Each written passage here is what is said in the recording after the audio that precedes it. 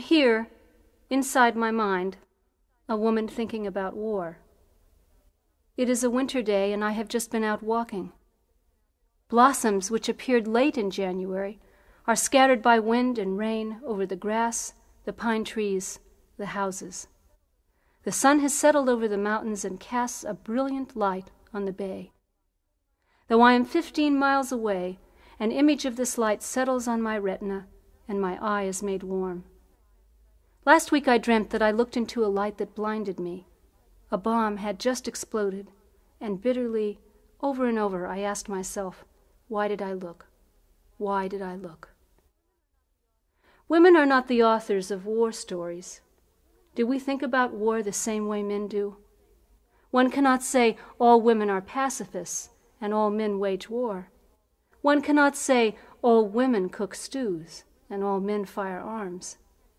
Once I was handed a gun that had been recovered from a German soldier in World War II. Protesting that I hated weapons and had never fired a gun, I proceeded to hit the center of the target with four out of six bullets.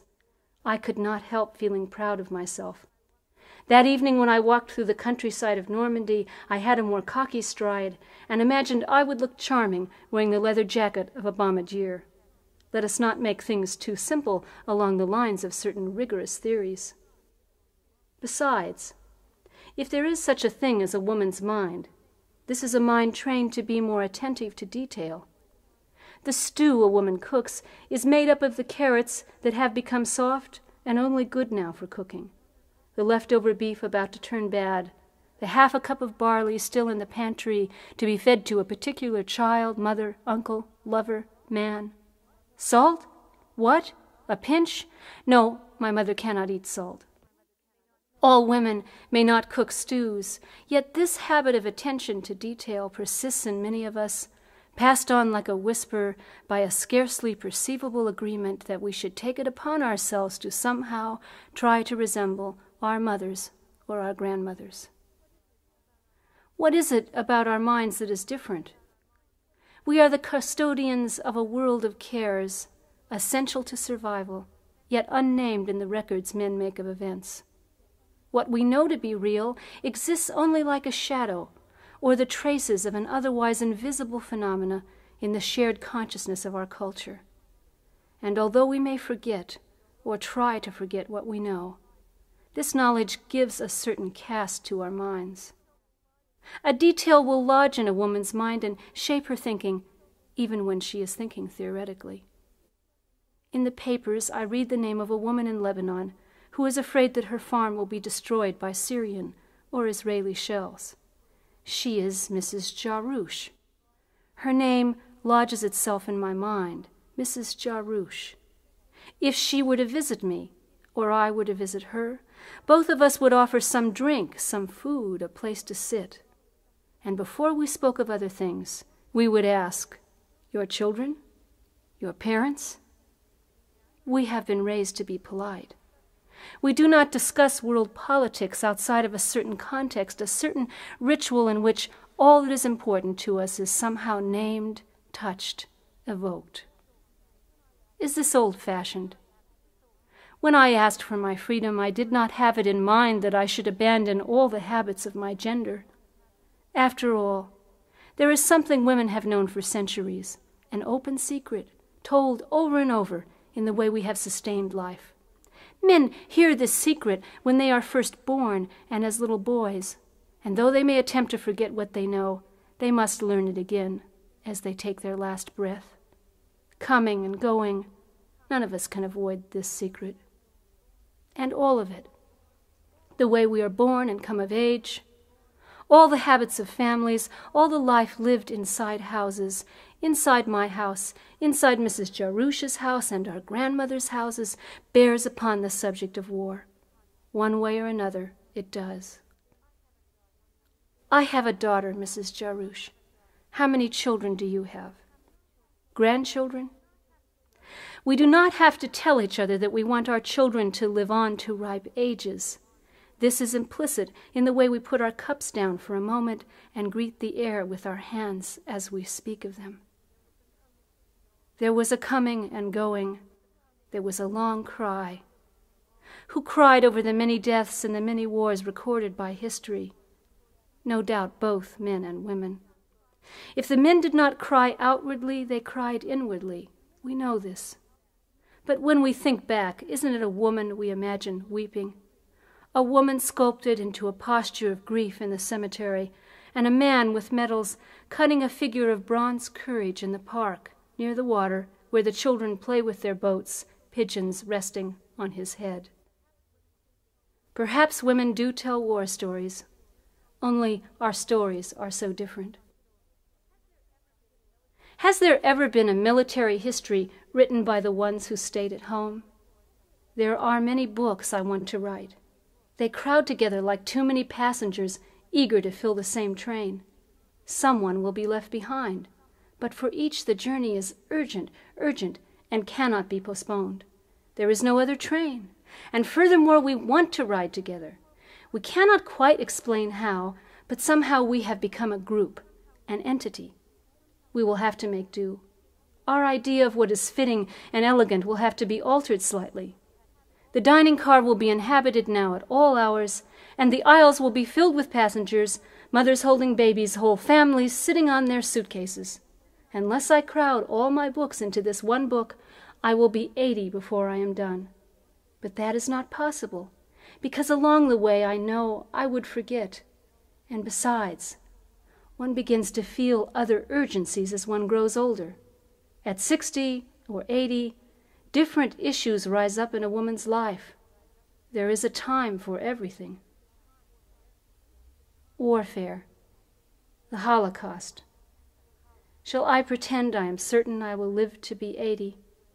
or that my daughter will have what is known as an adult life. The phenomenology of family life, intimacy. These are the subjects that come together in my mind. The sexual lives of men and women, my sexual ancestry. Do I know exactly how they all fit together? No. Passengers sit on top of one another, step on each other's raincoats, spill soup on one another. The old comfortable arrangements are in disarray. It is unseemly. And perhaps that is the point.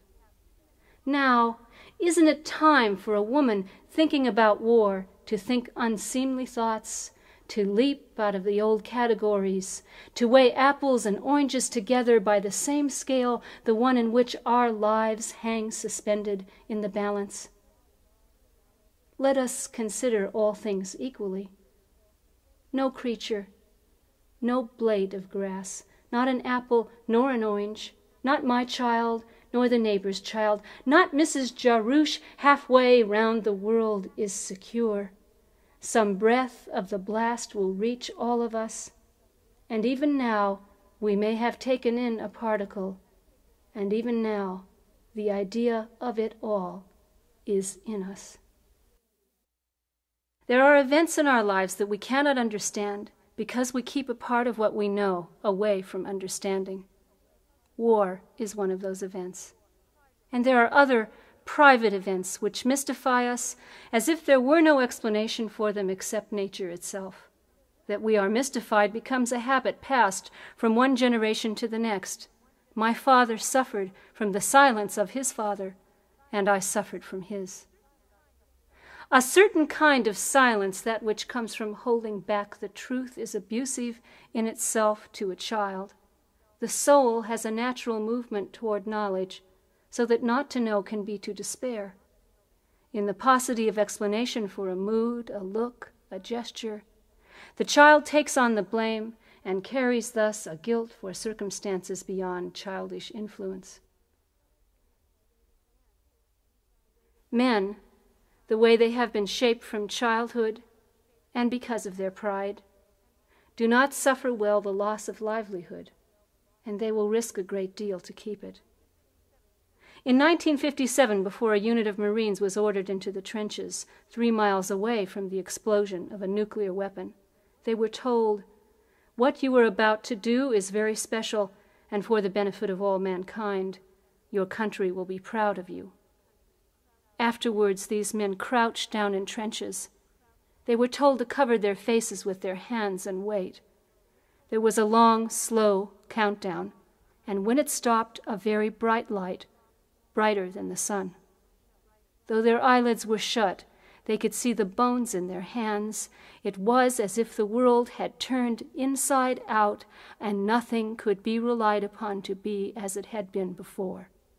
The sound of the explosion was shattering, and then the ground began to shake violently. Several more miles away, a woman thought she felt an earthquake. Some men were quickly buried in the earth, and all this instilled a particular terror, so that even men who had been close to death in combat were frightened and lost control. Some were weeping. The light was still blinding when a powerful wind, a wind which threw even men half buried in the earth on their backs, began to blow. A mushroom cloud formed over the sky, and a thick dust began to fill the air so that one could see no more than a few feet in any direction. One man who had gone through another explosion moments before this bomb went off had wanted to stand up to shout, Stop, stop, we don't deserve to die this way. He had been told his body was in no danger from radiation, and he could not see it or taste it himself. He knew this explosion was to be more powerful than the first he had experienced, yet I believe there was something more he felt, not palpable to the senses as we know them, but there he had been through four years of a military academy in the South. He had the ambition of becoming a Marine Corps officer, and now he was one.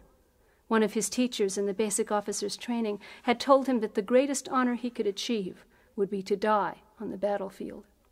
His body shook uncontrollably, but still he did not speak and only feared, along with his body's terror, that this shaking might be seen by the men he was commanding. There are many things that we know that we are not supposed to know. Sometimes there is a conspiracy to silence us, but at other times it may be that what we have to tell is something no one wants to know because what we say does not fit into the scheme of things as they are understood to be. A child tells a doctor she has been raped by her father. She may even have signs on her body of this rape, a tear or a fissure, but the doctor refuses to see. A young woman remembers that she was raped, but the man hearing this story tells himself he hears only her fantasy. Shall I call her Nell, the woman whose name I cannot tell? I name her after my great aunt who was born in southern Illinois, which is almost like the South. When I imagine her father forcing himself up a hill and into the mines, I imagine his hands trembling as my own hands have trembled when I am overtired. And I can imagine Nell trembling, too, after her father had forced himself upon her, trembling and not knowing where to take this trembling. The men who emerged from the trenches were deeply impressed by the devastation they saw. Tanks were melted. Heavy equipment had become cinders. There was a kind of confusion. No one seemed to know quite what to do. Men appeared in clothing designed to protect them from radiation, clothing the Marines did not wear. Some men were directed away from the areas which had been called contaminated. On a mountain range several miles north, yucca trees were burning. The men could not find equipment they had been ordered to operate, but still they formed columns of twos and marched in time over this landscape. I can imagine these men standing at attention the morning after this explosion. They have on clean, pressed uniforms. They are washed and shaven. It is before breakfast, and they are hungry. Each man is relieved to pass inspection as he waits for his next orders. Do they hope against hope that it will not happen again? When I ask this, I think right away of Nell's mother. When her first daughter was raped, two others were already born. I try to become her, and immediately I have a feeling for the event. I find myself gripping the edge of my desk as if the ground were shaking violently. And as the violence of my imagination stops, there is a kind of numbness and a kind of confusion. Things have somehow got to go on, I say to myself, and over time I begin to forget why I do not let my oldest daughter come home until I am home. That's just how things are, I say to myself. Mercifully, this violent event recedes from my consciousness almost like a nightmare whose images give me only a vague feeling of discomfort in the daytime. But nightmares recur. There are other daughters. Nowhere is there a record of all that has happened in human history except in living consciousness. And does the truth each of us knows die along with us unless we speak it? This we cannot know. Only we can know that the consequences of every act continue and themselves cause consequences until a later generation will accept the circumstances created of these acts as inevitable. Unless instead this generation tries to unravel the mystery, and if they penetrate the secret whose scent persists in all eventualities, will they say finally, This death, this wound, this suffering was not necessary.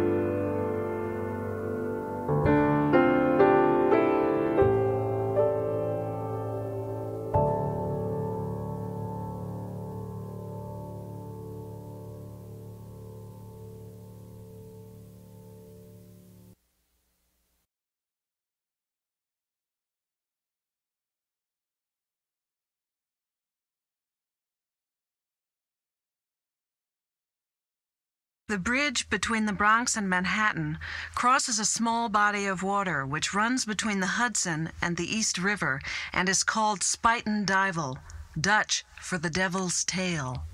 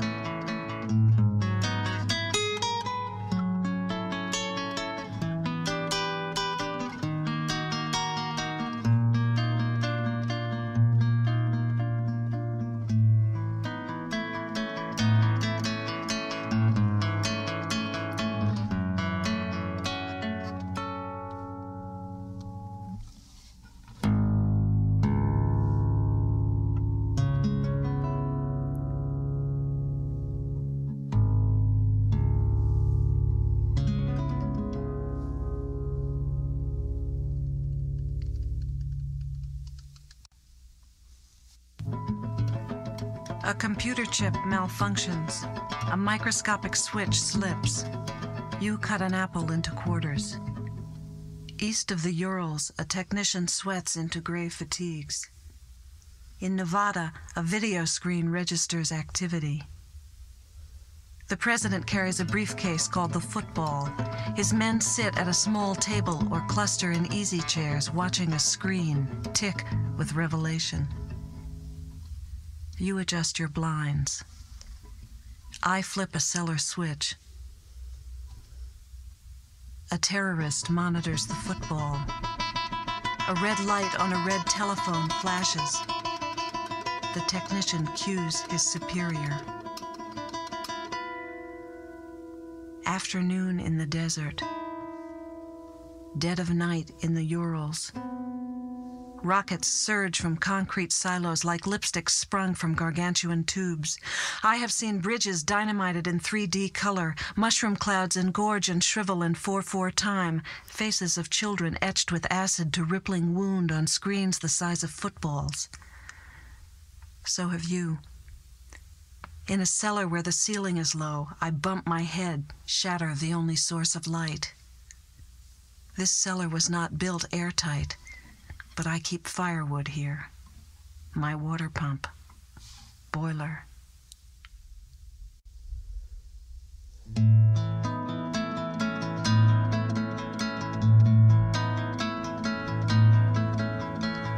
I am driving across the bridge which connects the Bronx to Manhattan. River blue below, sun rippling its surprising expanse, and always entering New York by this route. I love life. Planes. No. Missiles. Or must we call them warheads? How fast? Morning. You stand at your kitchen telephone, then drive down the hill. Or twilight. You bend at a keyboard, moving as you play. Ten minutes from that place to this. Frozen expression on the face of the drunk who wipes my windshield on the Bowery. I want your hand. Warheads. You slip an apple quarter by quarter into your mouth. We never sat facing each other. What might we make of this love?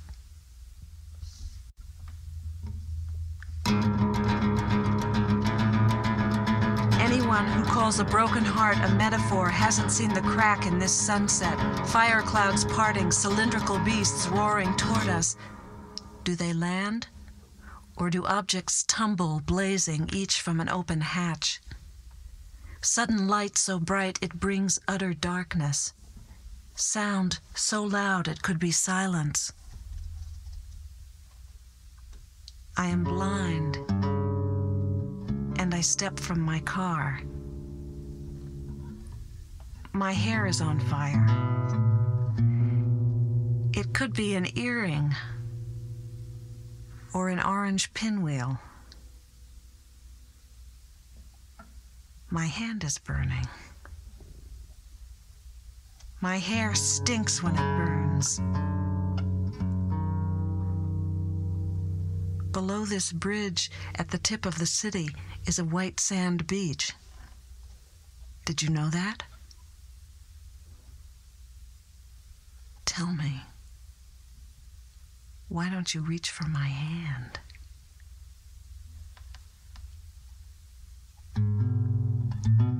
We are all blind. All feel heat which mounts so fast, I can't tell if I sweat or shiver.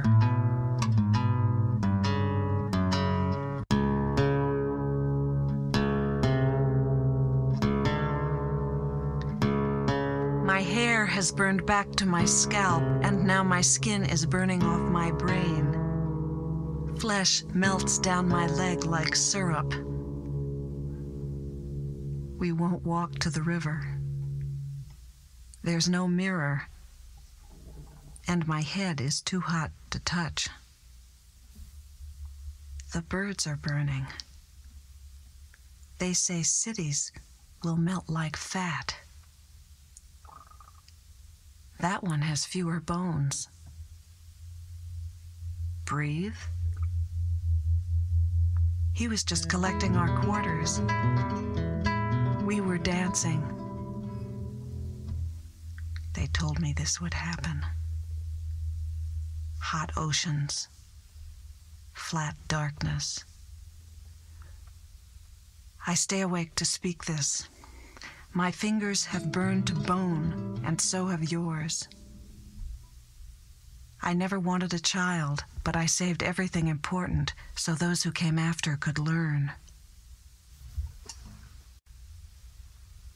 It has not been explained to us that a computer chip has the shape of a wafer but is invisible to the naked eye, or that a switch has less thickness than a capillary, or that the cloud of fire is as fierce and huge as Niagara Falls. You have chosen this distance. We will not hear the terrible news together. When they tell us we have the power to stop this, we speak only of our powerlessness to stop a blizzard in April. There is nothing more I could have said to you. You cross the Golden Gate. Planes? No. Missiles. How fast? None of the children believe they will be grandparents. Those behind bars will burn behind bars, and I think of flowers. Why doesn't this scare me as much as losing love again or not having enough money? I will break a bone or my bones will burn. I can't see what's happening in Nevada. I keep giving them money. You're not here. My breath is burning.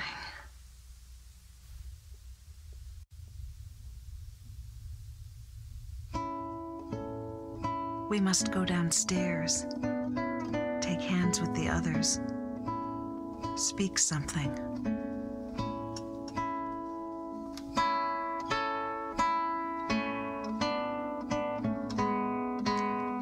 When they said, Put your head to the wall, fold your arms behind your neck, I was not afraid.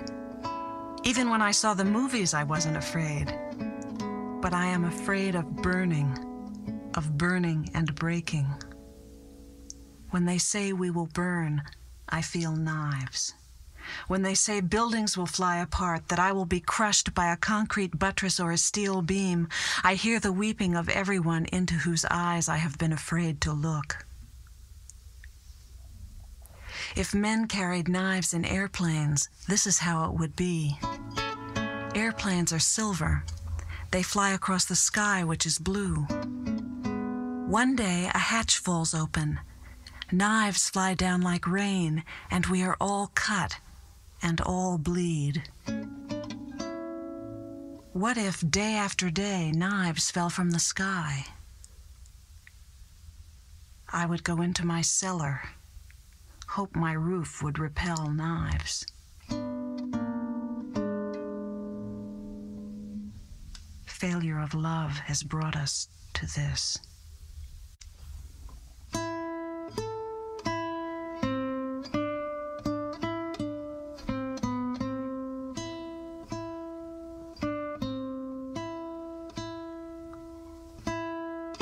You iron. It could be thunder. They keep listening to music. Let me tell you, the difference is the whole city is an oven which won't go out, and if it could, there would be no one to put it out. Let me tell you, you will never see morning again or early spring. Look, fire sheets down the river like wind before a hurricane.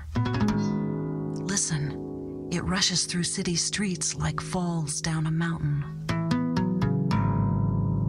No one will read what you write. No one will eat what you put on the table. It is not thunder. There is no time to make amends. You will not know her as you wished, and you will never see your face in the faces of your nieces and nephews. Peel the apple with a knife. Eat the apple without peeling it. Choose beautiful paper to draw her head, or draw it on a napkin after dinner. Eat eggs and sausage and oranges for breakfast, or don't eat. Drink tea or drink coffee. Call your father to wish him happy birthday. Use a band aid when you scratch your hand on rose thorn or bleed freely into your grandmother's linen. Plant potatoes as you planned. Let the candles burn down to stumps or replace them with new ones. I have wanted to be free to feel, to welcome you with flowers, see your smile time after time. When the apple limb fell, too heavy with rain and fruit, I painted its wound with tar. This year I will fertilize so the tomatoes have no hardship. I am not afraid to begin to love or to keep loving. Even in this fire, it is not fear I feel, but heartbreak.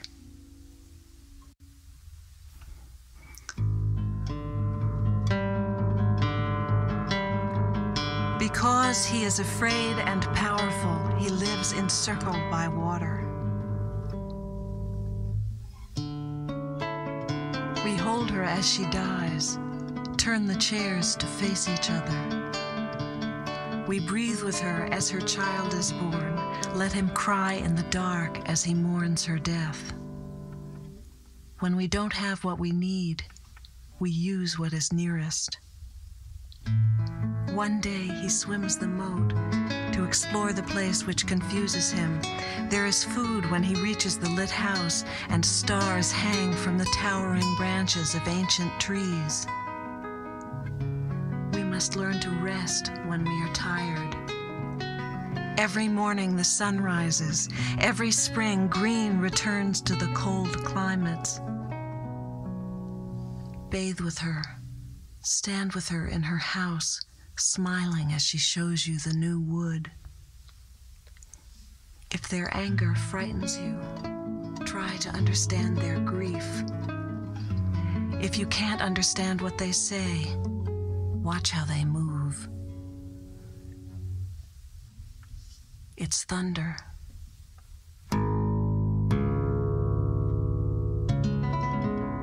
She is young. Tell her the truth. He is near 90. Help him cross the street. It's thunder. Reach for my hand. I will let you go. It's raining. If you visit, we will walk down through the fields and I will show you the river.